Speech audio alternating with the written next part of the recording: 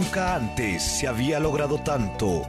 Ningún gobierno había invertido más en obras públicas que el actual gobierno. Hoy se construye cambio de redes de agua, desagüe y pavimento rígido en todo el perímetro de la Plaza Mayor y la cuadra 1 del Girón Grau. Instalación de la cancha sintética del Estadio Municipal. Construcción del cerco perimétrico en el Colegio César Vallejo. Mejoramiento y techado del Coliseo San Nicolás. Guamachuco ahora tiene más obras en beneficio de su gente. Con resultados seguimos avanzando más que nunca.